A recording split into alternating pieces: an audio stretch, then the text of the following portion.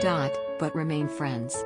Speaking to The Sun, a source close to Bianca, 34, and Kris, 32, said, Bianca and Kris have decided to part ways and are no longer in a relation but they remain friends and no others parties were involved in their split.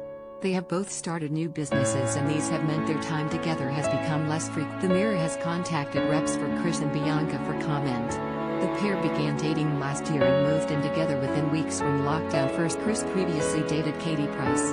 He got engaged to the former glamour model in 2019 before they split just a few months. Kris had only recently been speaking about how good things were going with Bianca. He told Fubar Radio last month, She's great, I mean she's an absolute diamond with lockdown, you can't even go on a date. Do you know what I mean? You can't even go out for a nice bit of food. She's so supportive, she appreciates what I am doing for work and she really helps out with. It's nice to have someone that's nice and supportive and understands